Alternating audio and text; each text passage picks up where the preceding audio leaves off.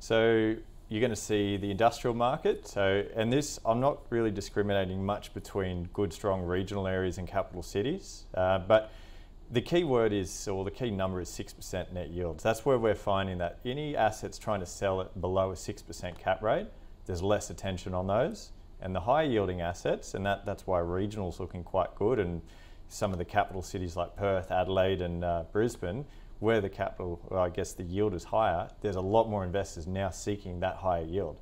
So increased in demand is happening there, and then the lower yielding asset, it's the opposite. So we're seeing some quite strong weakness forming out of some parts of Sydney or Melbourne, or you know where, where they kind of needed, you know, the the four percent cap rate type markets, they're really struggling at the moment because no one wants a four percent cap rate when the interest rate's five and a half, six percent. So you know, it, it's really um, high yielding assets are going to be in, in demand, and that mm. demand will cause growth because uh, it will hold us through this period.